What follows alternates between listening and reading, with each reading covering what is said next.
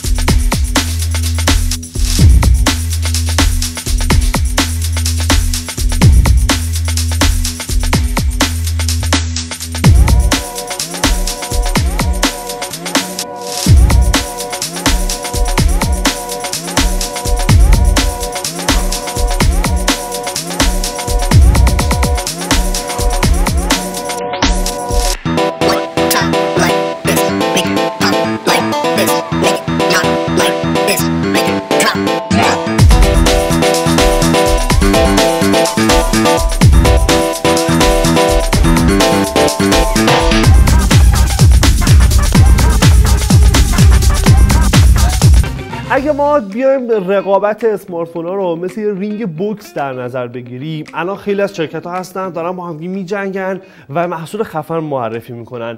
تا سالهای گذشته دقیقا اینجوری بودش که هواوی هم وسط میدون بود و یه گوشی عرضه می‌کرد با یه دوربین خیلی خفن خیلی غول و همه رو می‌زد کنار و میگه آقا تو دوربین من حرف اول می‌زنم.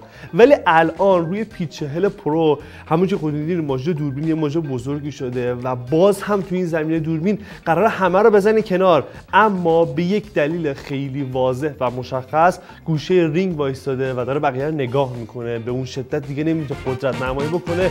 من هم در مورد اچ و هواوی و اپ گالری صحبت می‌کنم که می‌تونه تمام تجربه کاربری رو ببره زیر یه سایه‌ای که یا می‌تونه خوب باشه یا می‌تونه خوب نباشه. حالا اینکه داره روی این گوشی چه اتفاقی میفته و این واقعا چه آینده پیش روشه ما حتما تو بررسی نهایی بهش اشاره می‌کنیم. اما توی احساس اولیه حالا فارغ از این موارد نرم افزاری گوشی که تو دست آدم می‌گیره خیلی گوشی باحاله صفحه نمایشش خیلی قشنگه حاشیه کم شده اما حاشیه بالای صفحه نمایش من تو رندره حالا عکس تبلیغاتی فکر می‌کردم عملا خیلی خیلی کمتر شده باشه اما اینجوری نیست.